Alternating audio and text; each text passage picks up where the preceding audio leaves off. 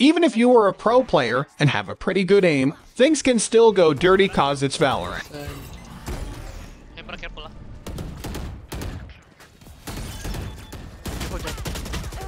Jett, Jett. One enemy remaining. One here, one here, one. down A. CT.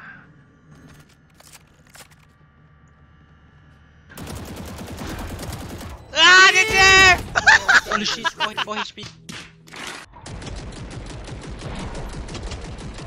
4 HP.